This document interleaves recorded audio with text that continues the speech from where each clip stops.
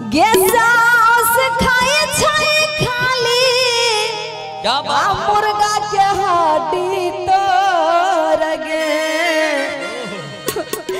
हमरा खाई दै छै खाली झोर गे माँ। आइए तो सुनाएँगे आप लोग।